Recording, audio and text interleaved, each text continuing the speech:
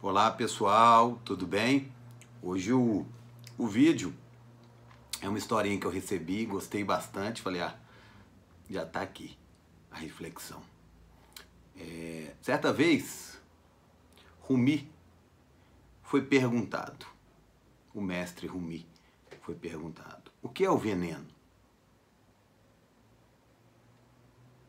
Ele respondeu, qualquer coisa que seja mais do que precisamos é veneno.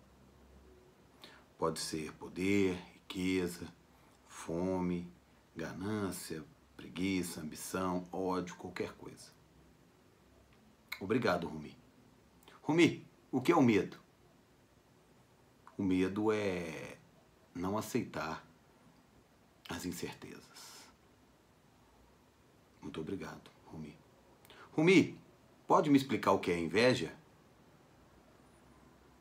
Sim, claro.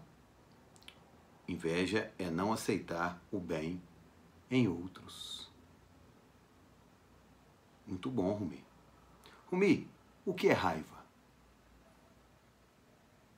Raiva é não aceitar as coisas que estão além do nosso controle.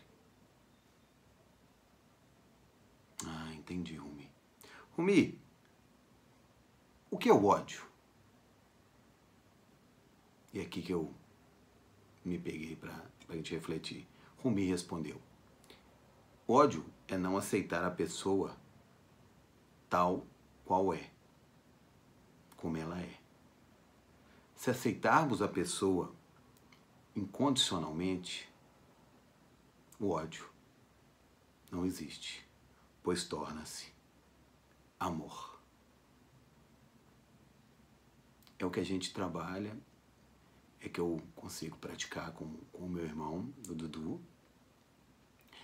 que é legitimar, né, o que a gente fala, né, é legitimar a pessoa como ela é e não como eu gostaria que ela fosse.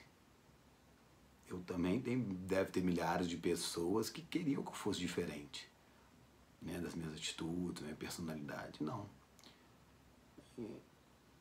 Isso só gera conflito e ódio.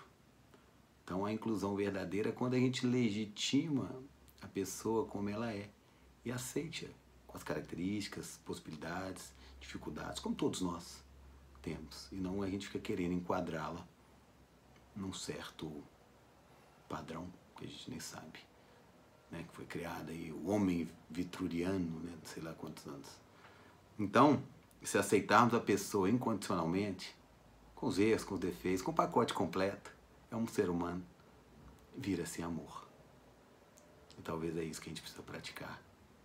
É isso que seria educação inclusiva. Todo mundo aprendendo com todo mundo. E não a gente tentando encaixar pessoas num único formato.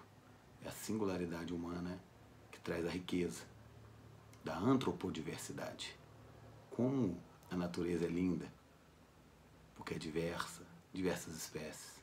E a espécie humana também é antropodiversa, mais de 7 bilhões de vidas diferentes.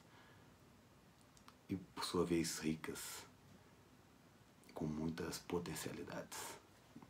Vamos pensar. Valeu. Escreve o que vocês estão pensando aí. O que vocês acham do Rumi. Valeu.